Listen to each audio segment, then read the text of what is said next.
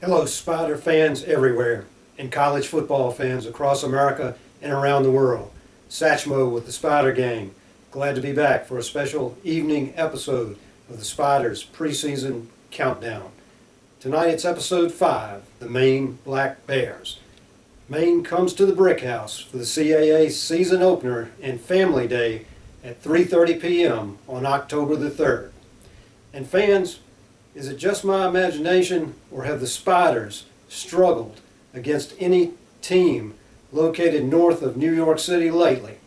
In fact, against the Black Bears, we're 3 and 7 in our last 10 meetings, including three straight losses, two of them at Robins Stadium. Who could forget that game in 2011? The Black Bears may growl even louder this season led by a veteran coach Jack Cosgrove, the Bears returned 20 starters, 10 on the offensive side of the ball, including their top two quarterbacks in the entire offensive line.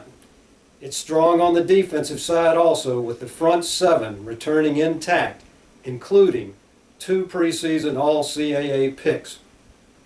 Both teams will want to get off to a strong start with their CAA season, the Spiders may have a little payback in mind also. We're due against the Black Bears.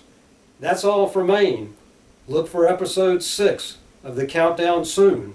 Go Spiders! So long for now.